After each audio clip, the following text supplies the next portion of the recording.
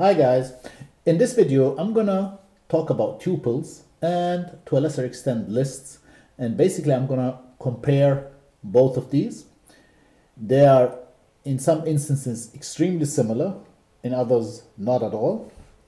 And here's my tuple, that's a sample tuple and here's a list which is also a sample list.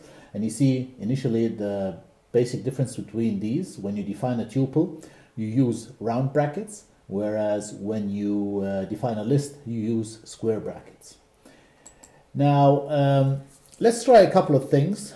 For instance, let me try changing in my list element number 2 to 789. Element number 2 would be 0, 1, 2. So this one I would like to change to 789. Let's put the code in. So that's the code. Let's save it and run it.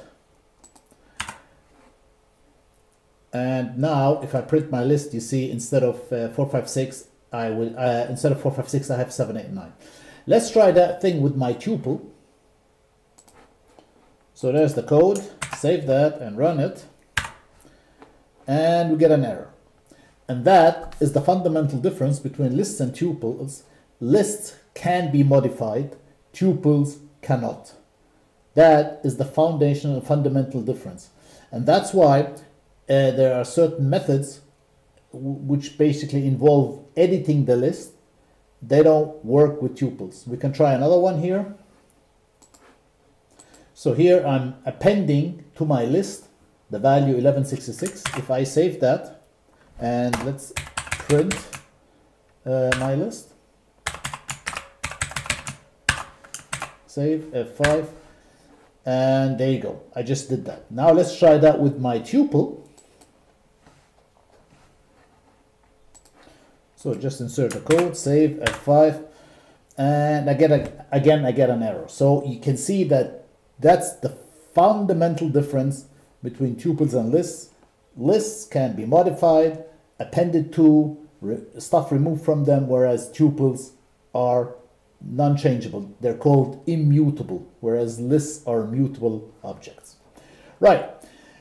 Other than that, a lot of stuff can be done with lists and tuples. For instance, we know that we know that indexing um, a list takes place like this, and that this way I'm, I'm, accessing the second element in the list because remember in lists indexing starts at zero. Same thing with tuples, and let's try it out. Save F5 and you can see I'm both getting the I'm getting the same value. What also works in both, you can also use negative indices, which basically takes it backwards.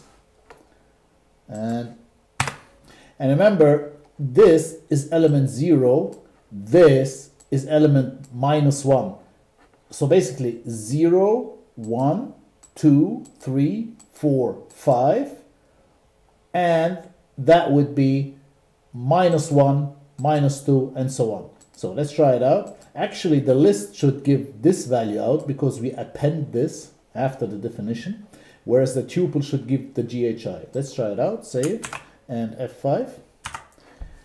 And you see the, the tuple gives GHI, whereas uh, the list gives 1166. So minus, when you go backwards through either a list or a tuple, you start with negative 1 because there's no negative 0, obviously. Whereas if you start forwards, you use 0, 1, 2, 3. Uh, personally, I mean, sure, it's a nice feature, but personally, I've never used that in professional code. Uh, I don't know, it confuses me. I prefer going forward, zero and so on. And I prefer, you know, if I need that, if I need that element, then I prefer using the length, the length element, and then subtracting from it. So uh, if I need this element, then I prefer to go length minus one. Uh, this minus one is, I, I, I, get confused with it and it's, um, I don't know, uh, but that's just me you know? So uh, another thing what what what happens in both of these is you can use slices. So a slice is a section or a subsection of of the of the of the series. With tuples you can write it like this and works identically for lists. If i save that and run that uh, you would get they're the same they're same slices. Let me just remove uh, that stuff. We don't need it anymore. Or leave it just to, yeah, we needed to just to compare the list. Okay, so you can use slices. Both have both uh, have the method len or the function len, where you can get the length of each of these. And here the same thing, len. And let's remove that. And yep, it should work. Uh, let's run it. So you see both have uh, the function length and obviously the list is longer because we appended this item to the list. Um, you can also loop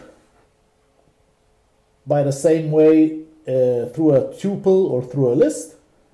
And that's one way of looping through these series. You see this identical, there's no, no difference at all. And if I save it and run it, we would get the same thing. I just put the print in here to have this gap. And you see here, that's the result of the tuple, and that's the result of the list. And obviously here, again, the list goes one more iteration for that added value. Uh, you could also write your for loops in a different way.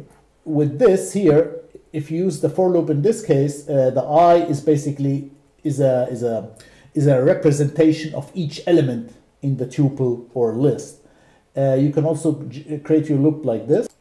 So here I'm i is now a representation of the length of the tuple. So basically here i is is not an element in that series, but uh, an integer which rotates through it. And if I save that and run it, you can see here the, the i was always uh, the, the, element itself, whereas here the i or j is in this case just an integer. And if I run that, you would see then it is uh, a number, whereas here it was an element. Right, and you see here, I, I, I in the previous code, let me just insert the previous code. Uh, in the previous code, we had, uh, we're calling the element itself, and here we're calling the tuple with index. So that's that's the difference, but both give out the same the same thing. Right. So these are basic operations for um, for uh, for lists and tuples, and you see they're very very similar, except that tuples cannot be modified. Tuples are immutable, whereas whereas lists aren't. Now, when to use when? Well, uh, because tuples are immutable, that makes them faster. Obviously, with our small series here, there's you're not going to notice any difference. But if you have huge amounts of data or huge, a huge list uh, or, or tuple, you will see that the, the huge tuple will will uh, iterate much faster than the huge list. So that's one advantage because because this immutability of um, of, of, of tuples makes them faster for Python.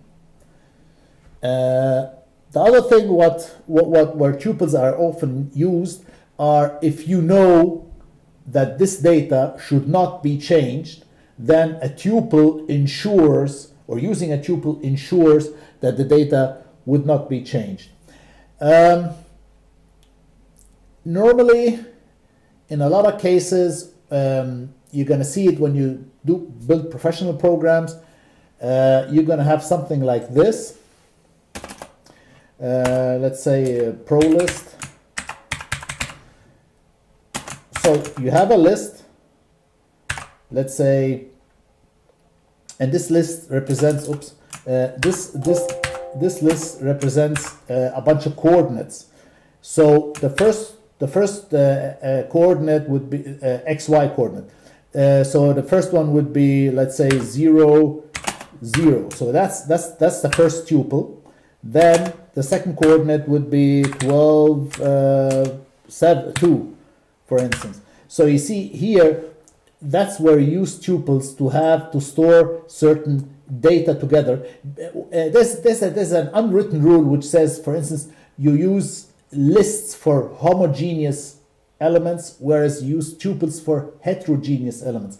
What that means is that, let me, let me just do the third element here. Uh, for instance, the next coordinate would be, uh, So you see here the list is homogeneous. It is basically the same thing, coordinates, whereas each tuple is heterogeneous. You have the x value, the y value, and so on. It's the same thing with data. For instance, you would have a list of uh, customers, and then each tuple would be the details first name, surname, and so on. And you've seen it when we called SQLite uh, the last time. You saw that SQLite outputs a list of tuples. Each element in the list is a row, and that, that makes the list homogeneous, whereas each tuple is then the diverse fields, and that makes the tuple heterogeneous. This is an unwritten rule. Obviously, if you have homogeneous tuples, they will still work. It's just an organizational thing, which uh, you'd see a lot of code uh, following this. Oh, here I see I made a mistake. You, uh, you see a lot of code follow uh, code following this this sort of unwritten rule. But basically, just remember that two things to remember: tuples are immutable, and in the quest for speed, and if you know your data isn't going to be changed, then use tuples. I mean, for instance, if I know that this data, that these that this series is never going to be appended or never going to get new items, those items are never going to be changed, then a tuple is a candidate. Otherwise, a list would be the, the candidate. So that sort of gives you the basics between the two or the basics uh, with these two tuples and lists and a lot of methods which do not involve uh, editing they work for both of them